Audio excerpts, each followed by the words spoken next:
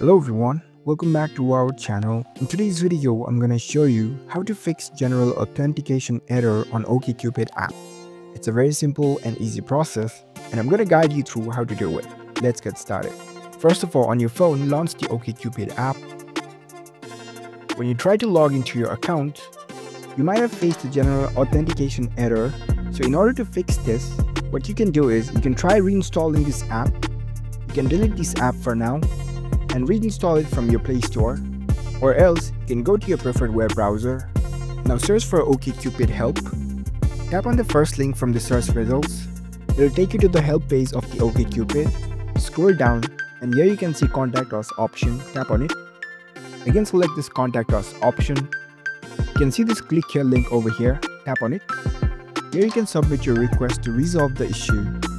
You choose the issue. It'll open up further fields where you can enter your emails associated with your account, your phone number, your name. You can provide every details over here. You can describe what your issue is. You can even take the screenshot of the general authentication error and you can upload the file over here in the attachment section. After that, you can tap on the submit button. OkCupid will review your issue and get back to you via your email.